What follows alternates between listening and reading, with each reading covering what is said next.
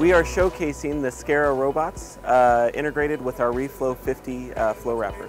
Industry has spoken and automation has become a hot topic over the last couple years. It's great for treats, individual dog bones, different types of pet toys, anything that can be organized individually wrapped. So it has a wide range of use within the pet food industry. One of the things that, that's exciting about Ossid, Quest, and the ReeFlow machines is the robustness of the machines and the ease of use, the versatility that you have. You can run small products up to large products. Ossid and Reepack are somewhat newer to the industry when it comes to flow wrapping, but we're an exciting brand because of the quality that we have behind our equipment and the customer service uh, that backs it. So definitely a brand to, to check out.